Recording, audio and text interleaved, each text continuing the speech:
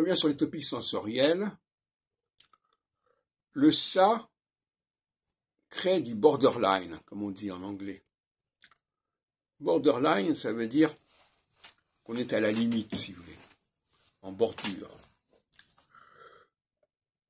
Et le ça, c'est toujours une sorte de liberté prise par rapport aux normes. C'est pour ça que le mot liberté dans la devise républicaine est très suspect, parce que liberté, c'est une incitation à faire n'importe quoi. Et le ça, c'est un peu du n'importe quoi. Donc, euh, être borderline, c'est prendre des risques, se permettre de, faire, de ne pas faire certaines choses, ou d'en faire d'autres. Euh, c'est une sorte de, de désinhibition.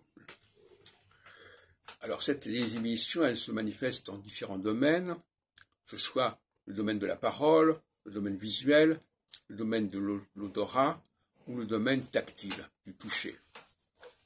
Ce sont les quatre grands domaines. Je ne les relirai pas forcément aux quatre éléments, mais enfin on pourrait essayer. Et il y a des communautés qui sont organisées autour de, du borderline. C'est-à-dire que les, les gens se réunissent autour du borderline. Par exemple, les, les, gens qui aiment bien parler, dire n'importe quoi, parler comme ça, ou faire du bruit, eh bien, ils se réunissent entre eux. Ils se réunissent entre eux dans une sorte de complicité, c'est le mot qui, à mon avis, convient. Le borderline crée de la complicité. Quand on est tout seul à être borderline, bon, très bien. Mais quand on est plusieurs, on est la complicité, on est dans la jubilation, on est dans le tabou qui est brisé, on est dans la transgression. Et donc, ça crée des liens.